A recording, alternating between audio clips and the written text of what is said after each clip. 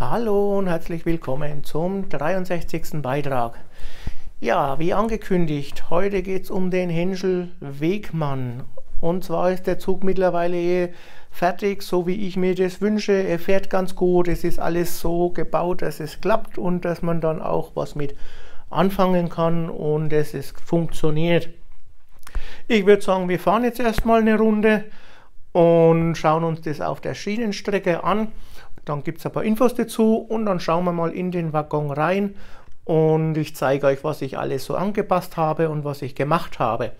Ich werde euch auch oben in der Beschreibung nochmal Links zu anderen Videos über den Henschel machen, weil ich ja meine Waggons modifiziert habe oder angepasst habe für die Strecke, damit ich bei mir um die R40 Radien komme. Und ja, wie gesagt, starten wir mal. Ich tue jetzt auf Stufe 5 mal gehen.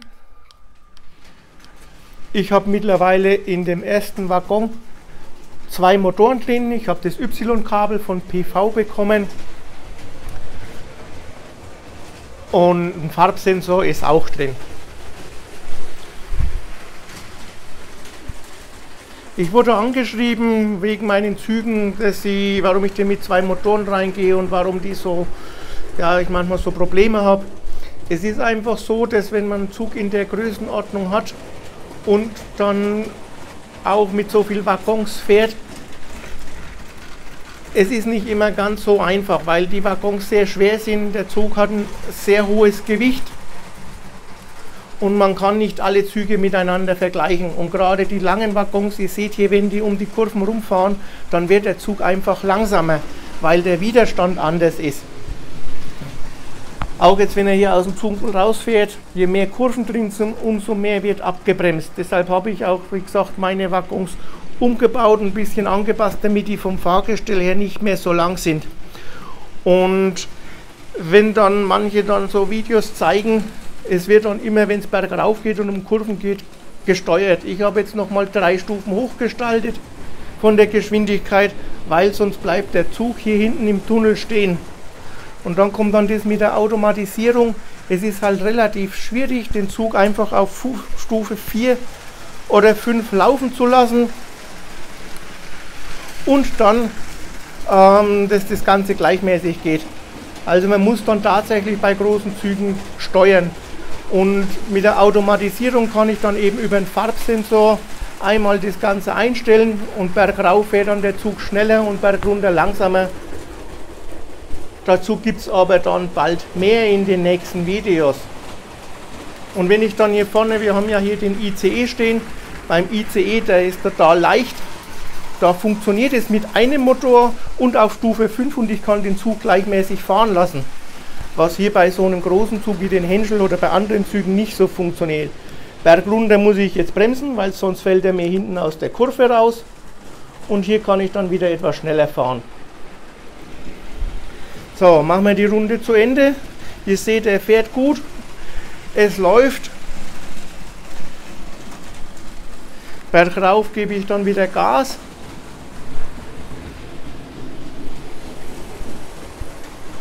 Und da oben bremse ich schon wieder.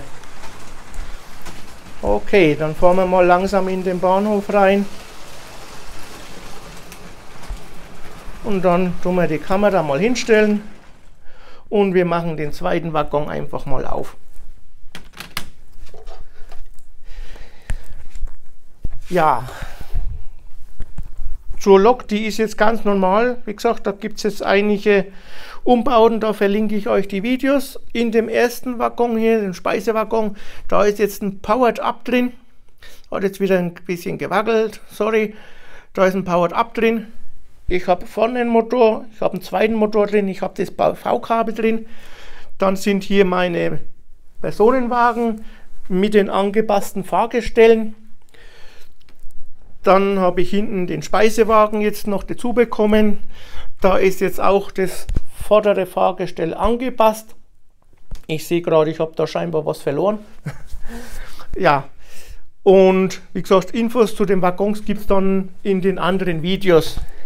Jetzt stelle ich die Kamera mal hierher und dann schauen wir mal in den ersten Waggon rein.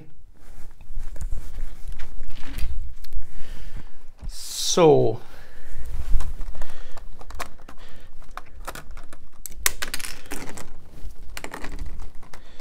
Das sind drei Teile vom Dach. Das ist so im Bauplan drin. Ich habe das Dach auch hier ein bisschen verstärkt mit diesen ähm, zusätzlichen Plates, weil sonst fällt mir das zu oft auseinander, wenn ich das Ganze rausmache. Und ich habe auch hier die ähm, Durchgänge oder Übergänge zu den anderen Waggons auch angepasst. Seht ihr auch in den anderen Video drin. Ja, wie gesagt, und das hier, das ist jetzt dieses Y-Kabel von PV. Einmal gehen wir hinten an den hinteren Motor, Motorrichtung Kabel geht nach vorne und bei dem hier geht auch das Kabel nach vorne raus. Das hat sich hier bei dem Waggon angeboten, weil ja unten dann das lange Fahrgestell ist und deshalb habe ich das auch davon reingebaut. Also das Kabel funktioniert super, geht auf dem Hub drauf, klappt. Ich werde euch auch, wenn es klappt, einen Link dazu machen zum Ali. Man kann diese Sachen einzeln bestellen. Was man allerdings nicht bekommt, das ist jetzt die Komponente hier. Man bekommt zwar die Buchse, aber das andere Teil hier scheint aus dem 3D-Drucker zu sein. Wie gesagt, wenn jemand selber basteln will, ich kann euch das nochmal gern reinmachen. Und es gibt die Kabelstücke einzeln zu kaufen. Wenn da jemand Interesse hat, vielleicht könnt ihr was mit anfangen. Mal schauen, ob ich vielleicht auch was kaufe in der Richtung, aber momentan ist das nicht geplant. Dann ist normal der Hub drin. Ich habe dann vorne eine Öffnung drin und ich habe auch die Öffnung jetzt vier Noppen breit gemacht, weil wenn das nur zwei Noppen ist, dann ist die Beweglichkeit zu gering und dann habe ich wieder in den Kurven, wenn ich rumfahre, so sieht man es, habe ich dann wieder ähm, ja, Widerstände oder Sachen, wo Kraft kostet, damit dann, dann kommt es halt nicht so schön an vom Fahren her. Und hier auch bin ich mit vier Noppen Abstand vom Loch drin, damit sich das Ganze gut bewegen kann, das Ganze. Und auch Hinweis nochmal, wir haben, was ich auch empfehlen würde, wenn ihr die Waggons kauft, im Bauplan sind zwei so Technikplates übereinander mit den Löchern, dann fallen euch die Fahrgestelle raus. Ich habe nur eins drin, damit ich den Waggon hochheben kann, ohne dass das Fahrgestell rausfällt. Ja, was habe ich noch gemacht? Ja, euch wird vielleicht auffallen an den Seitenteilen. Da habe ich jetzt auch selbst wieder gebaut. Ähm, zwar habe ich, das sind die normalen Seitenteile, was es hier gibt. Ich habe diesen schwarzen Böbbel da sieht man praktisch das Teil hier habe ich abgeklipst mit dem Seitenschneider. Ich habe es praktisch dann mit der Pfeile glatt gemacht und dann habe ich eine 1x3 Fliese, hinten ein älteres 1x3 Teil genommen, habe es drauf und habe das mit Aceton festgeklebt und dadurch ist dieses Bauteil entstanden. Man könnte jetzt oben noch eine Fliese drauf machen, aber es passt dann wahrscheinlich auch wieder nicht, weil da zwei Noppen sind und ich bräuchte eigentlich eine 1x3 Fliese. Es ist ein, ja, weiß nicht, ist ein bisschen unglücklich von der Geometrie von Lego her. Ne? So, das ist so das Innenleben jetzt vom Waggon.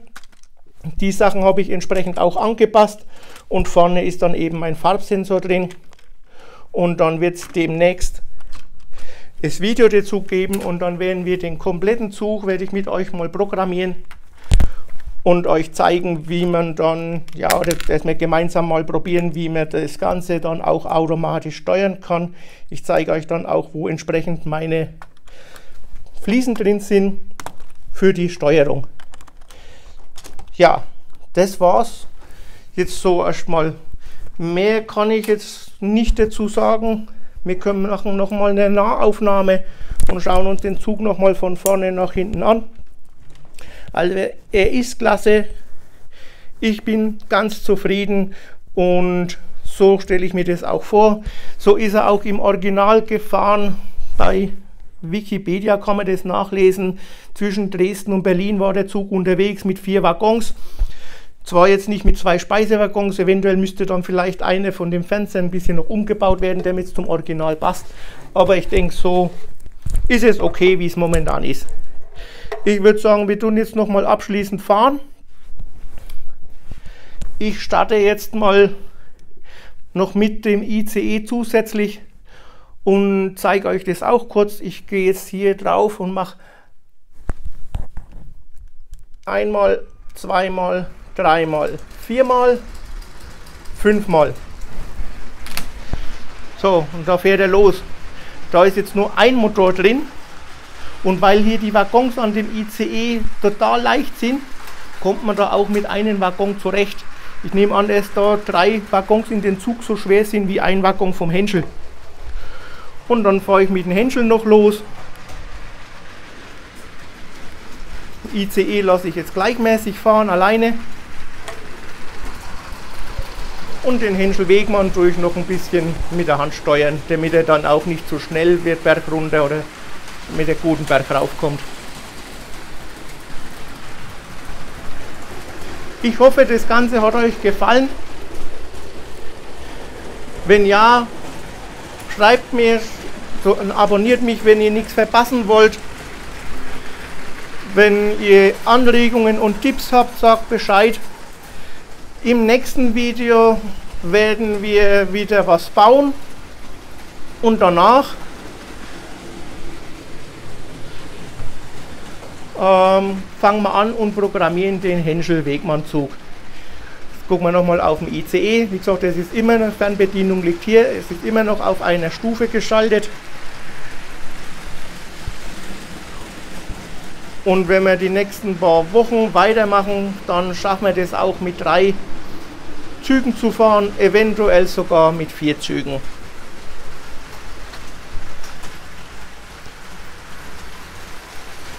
funktioniert klasse. So, mit zwei Zügen auf der Brücke hatte ich auch noch nicht.